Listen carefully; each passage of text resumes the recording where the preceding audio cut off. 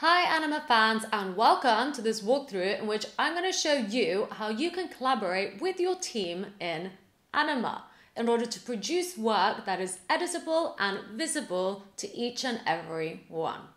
Anima has made it super easy for you to collaborate with your peers. To do this, I'm going to show you how to create your first team and then share work with them. So, as you can see here, this is my workspace. This is my personal workspace and work that I have for myself and myself only at the moment.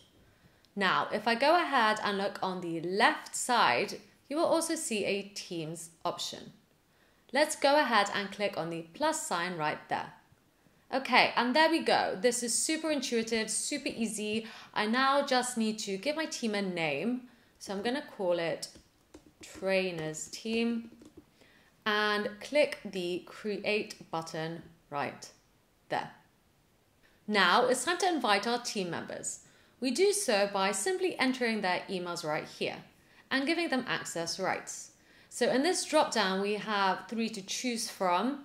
I have contributor, viewer, or admin.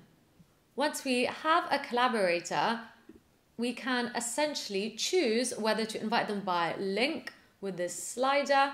This will mean I can essentially copy the link and share it directly with them so they can have access. This link also has access rights, so I can send them the link as a viewer or a contributor. And of course, the invite is coming from me. I am the owner of the project and the administrator too. There can be multiple admins, contributors, and viewers. That part is up to you.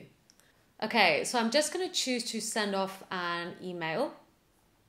So I'm going to unselect the direct link option and just click enter. And done. We now have invited our first collaborator. Now let's go back to our trainers team dashboard.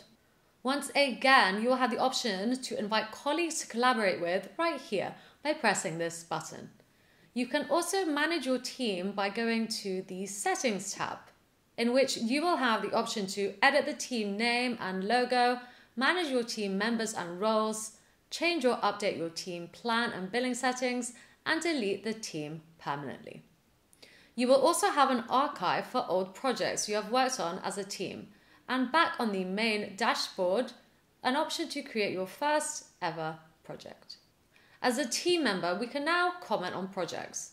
So let's go to our trainers project, gravitate to the top of the window, select the comment button, and there we go. We are now free to leave comments on our team projects for others to see. Okay, I hope you enjoyed this video about how to collaborate with colleagues on your projects in Anima. If you want to learn about some more advanced features that Anima has to offer, please head over to our advanced series and I'll see you there.